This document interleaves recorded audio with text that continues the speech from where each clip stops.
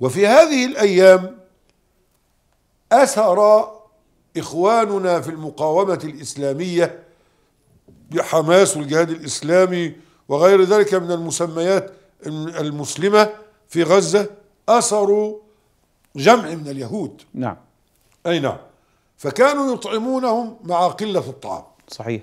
ويسقونهم مع قلة وجود الماء العذب. لا وإيه وفاكهة. مما يتخيرون نعم، صحيح. يقدمون لهم الفاكهة وهم لا يجدونها صحيح. فيؤثرونهم على أنفسهم مع أنهم كفار نعم. ويهود. والأعجب من ذلك أن بعضهم مرض فأحضروا له أطباء متخصصين وقاموا بعلاجه وأحضروا له الدواء. صحيح. نعم. واحضروا له الدواء. فامرأة من اليهوديات تأثرت تأثرا عجيبا جدا. أمال إحنا بنقاتلكم ليه؟ ومحتلين أرضكم ليه؟ يعني هذه صارت أسئلة حتى في في نفسها. تأثرت بأخلاق الإسلام. تأثرت بأخلاق الإسلام. وإخواننا في المقاومة في غزة يتأسون بسيدنا النبي صلى الله عليه صلى وسلم. الله عليه وسلم. نعم. ولقد كان لكم في رسول الله إيه؟ أسوة حسنة. ويقتدون بصحابة النبي. رضوان الله عليه رضوان الله تعالى عليهم. نعم. خدت بالك كيف رضي الله لأن ربنا جل جلاله وصفهم في كتابه فقال أشداء على الكفار رحماء بينهم نعم. ها ربنا قال أذلة على المؤمنين أعز على الكافرين ربنا عز وجل قال رضي الله عنهم ورضوا عنه نعم. اللهم ارضى عنا يا رب اللهم آمين. كما رضيت عن صحابة آمين. نبيك آمين. صلى الله عليه وسلم فتأثروا جدا فلما أتى وقت استبدال الأسرى وفك أسر هؤلاء بعض من اليهود في المرة الأولى وهي المرة التي حدثت الثانية لسه لم تأتي. أيوة. الإعلام المرئي والمسموع والمقروء أتى يلاقي يسوي حديث مع هؤلاء الأسرى فمن ضمن من ضمنهم امرأة قالت هؤلاء قالت هؤلاء الجنرالات.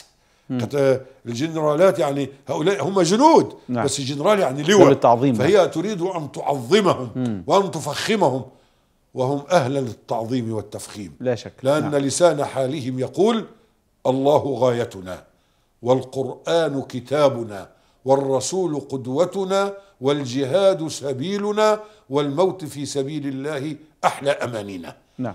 فقوم يقولون بلسان حالهم وقالهم قل إن صلاتي ونسكي ومحياي ومماتي لله رب العالمين لا شريك له وبذلك أمرت أن أول المسلمين. جدير بهم أن يدعى لهم. فاللهم إنا نسألك بأسمائك الحسنى وصفاتك العلى أن تنصر إخواننا المسلمين في فلسطين آمين. المباركة آمين. اللهم انصر المجاهدين في غزة العزة آمين. اللهم تقبل موتاهم آمين. شهداء آمين. اللهم داوي مرضاهم آمين. اللهم شافي جرحاهم آمين. اللهم أطعم جائعهم آمين. اللهم اسق عاطشهم آمين. اللهم إكس عاريهم آمين. اللهم اجعل النصر حليفهم آمين. اللهم أمدهم بمدد من عندك آمين. اللهم ثبت الأرض من تحت أقدامهم آمين. اللهم عليك باليهود الملاعين آمين. اللهم احصدهم عددا. واهلكهم بددا. ولا تبقي منهم آمين. ولا ترفع لهم في الأرض راية واجعلهم للخلق عبرة وآية وسكن الرعب. والفزع والقلق. والاضطراب في قلوبهم. اللهم أرنا فيهم هزيمة منكرة آمين. وزدهم خلافا على خلافهم. وزدهم فرقة على فرقتهم واجعل أمرهم شتاتا شتاتا آمين. ولي واجعل واجعل مصر أمنا أمانا آمين. سلاما وإسلاما آمين. هي وسائر بلاد الإسلام آمين. والمسلمين آمين. وادفع الفتنة عن إخواننا في ليبيا والسودان واجمعهم على أتقى قلب رجل واحد آمين. اللهم آمين, آمين. آمين. اللهم آمين يا رب آمين. العالمين آمين. فبارك الله في عمرك النبي صلى الله عليه وسلم الذي بين لنا أن هناك في الجهاد فرض عين وأن هناك فرض كفاية نعم. و... ال- الجهاد لا يكون فرض عين إلا إذا احتلت بلد من بلاد المسلمين نعم. ولو كان شبرا نعم أو إذا استنفر إمام المسلمين واحدا بعينه أو جماعة بعينها. نعم. ها؟ أي نعم. يبقى إذا احتل بلد من بلاد المسلمين أو إذا استنفر أو إذا لاقى المسلم الكافر نعم. في صف القتال. حينئذ يكون الجهاد فرض إيه؟ عين. فرض عين. نعم. حينئذ يكون الجهاد فرض عين. نعم. أيوه بارك الله فيك. إن الله اشترى من المؤمنين أنفسهم وأموالهم. إيه الثمن؟ إن لهم الجنة. الله. نعم. إن الله اشترى من المؤمنين أنفسهم وأموالهم بأن لهم الجنة. نعم. نسأل الله الجنة. يا رب. نسأل يا الله رب. الجنة. يا رب. نسأل الله آمين. الجنة وما قرب إليها من قول وعمل. ونعوذ بالله من النار. ونعوذ بالله من النار. آمين. ونعوذ بالله من النار وما قرب إليها من قول وعمل آمين. آمين. فبارك الله في عمرك.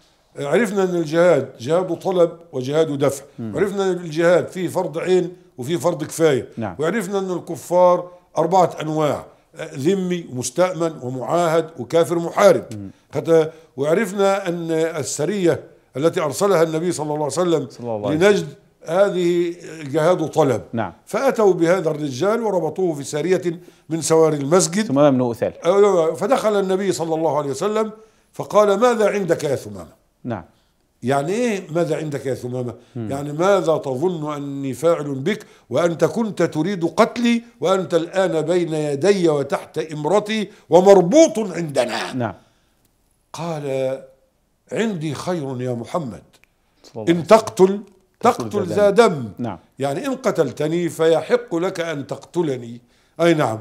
وإن أنع- وإن أنعمت علي أنعمت على شاكر. نعم. يعني يبقى جميلك في رقبتي لا أنساه طيلة حياتي. نعم. وإن كنت تريد مالا سل منه ما شئت أعطيناك إياه. رجل ملك نعم. عنده أموال كثير. فالنبي صلى الله عليه وسلم بعد هذه الملاطفة وتلك المداعبة تركه وانطلق. ثم و- والصحابة يطعمونه ويسقونه ويكرمونه. أتى نعم. في اليوم الثاني فنفس السؤال فأجاب بنفس الإجابة. في اليوم الثالث أتى النبي صلى الله عليه صلى وسلم, الله عليه وسلم. فقال ماذا عندك يا ثمامة؟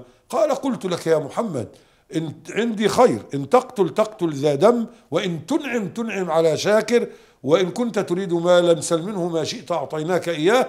فأصدر فرمان.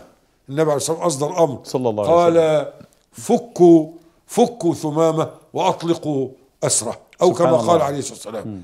عفى عنه ع- بدون مال نعم. وبدون مبادلة أسرة فإما منا بعد وإما إيه فداء حتى تضع الحرب أوزارها نعم. لأن آه، إمام المسلمين مخير بين القتل قتل مين؟ قتل الكفار الذين أسروا كما قتل سبعمائة في بني قريظة وحكم في ذلك سعد بحكم الله نعم. أو آه، بارك الله فيك آه، إما القتل وإما تبادل إيه؟ الأسرة وإما آه، اسرى نعم. آه، اخذتها إزاي فهذا حدث لبني المصطلق نعم. أي نعم وإما المبادلة كما حدث في بدر أو بالفداء فدية نعم أو المن كما حدث لابن أبي ربيع آه، ابن ابن أبي العاص بن ربيع زوج بنته نعم. وثمامة بن اثال هذا نعم. فأطلق ثمامة بجوشه فثمامة نظر خارج المسجد فوجد نخيلا وفي وبين النخيل ماء فاغتسل نعم. وأتى النبي صلى الله عليه وسلم قال أشهد أن لا إله إلا الله وحده لا شريك له وأشهد أنك محمد رسول الله. الله أكبر. الله أكبر. الله طب أكبر. ولماذا لم تسلم وانت عندنا؟ قال لا حتى لا يقول أنني أسلمت خوفا من السيف ولكني وجهت وجهي للذي فطر السماوات الله. حنيفا واتبعتك يا رسول الله. نعم إن شاء الله. ولكن أنا كنت أريد العمرة. الله. هو المشرك بيعتمر. أيوه كان يحج ويعتمر.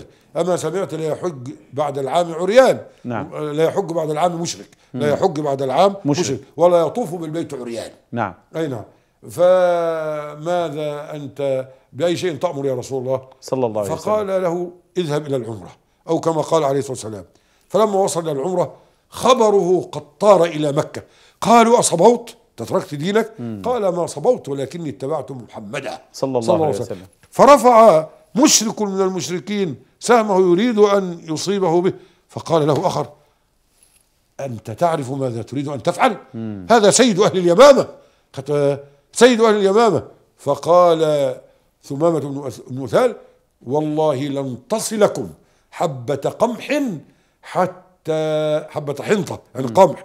حتى يأمر بها رسول الله. صلى الله عليه وسلم. وهذه المقاطعة الإيه؟ الاقتصادية. الاقتصادية. إذا المقاطعة الآن ليست مقاطعة حديثة لكن سبقهم أبدا. بها ثمامة بن لأن أثال ثمامة. نعم. خدت إزاي؟ ولما حدث ما حدث في الدنمارك وتطاولوا على سيدنا النبي صلى الله عليه وسلم صلى الله عليه والدول المسلمة بفضل الله قاطعوهم ضرب اقتصادهم واعتذروا. نعم، صحيح. اعتذروا ووعدوا أن لا يعود الأمر. في فيفهم من هذه أن المقاطعة الاقتصادية لها ثمارها. نعم وحتى ولها في, في. الوقت الحالي يعني لها ثمار عجيبة جدا في مسألة مقاطعة اليهود يعني أي نعم. منتجات اليهود نعم. فذهب إلى العمرة بارك الله فيك واعتمر. أي نعم وفعلا منع ال- الحنطة للقمح. حتى أبو سفيان قال يا محمد! اناشدك الرحم صلى الله عليه وسلم خطر إزاي؟ آه، أمر ثم أمر ثمامه بن أثال أن يرسل إلينا البر فأمره النبي صلى الله عليه وسلم وسلم. إليهم إيه؟ نعم. البر والآن اليهود يقتلون النساء نعم. ويقتلون الصبيان صحيح. ويقتلون الشيوخ و ويضربون المستشفيات ويقصفون والمساجد والكنائس. نعم. و- و- وقرابة 160 مسجد خطر إزاي؟ هدموا نعم. و30 مستشفى وحوالي 52 مركز صحي نعم. إلى غير ذلك صحيح. خدنا زي قصفوهم ثم نقول بعد ذلك حقوق الإنسان وحقوق الحيوان أين الحقوق وأهل غزة قد جاعوا صحيح. وعطشوا صحيح. و- وصاروا عري خدنا- ف- فأين أين حقوق الإنسان؟ وأين حقوق الحيوان؟ و- وأهل المقاومة من المجاهدين الموحدين السنيين الطيبين آه، يطعمونهم ويسقونهم ويعالجونهم. إذا ربطت في هذه الخطبة تنبيه أهل التيجان بمسجون أحب السجان بموقف الصحابة مع ثمامة بن أثال وكيف تأثره بأخلاق الإسلام وما حدث أيضا في المقاومة في فلسطين وما فعلوه مع الأسرى اليهود. أحسنت. نعم. ثمامة المسجون أحب الرسول صلى الله عليه وسلم الله عليه وسلم. والصحابة س- اللي هم نعم. سجنوه. صحيح. وكذلك اليهود الأسرى احبوا أهل المقاومة لحسن معاملتهم واقتدائهم. نعم. جزاكم الله خيرا. أحسن الله إليكم. حقيقة نورتنا وشرفتنا وازدانت الرحمة لله بوجودك. بارك الله. أحسن الله إليكم. بارك الله فيكم وزادكم الله علما. اللهم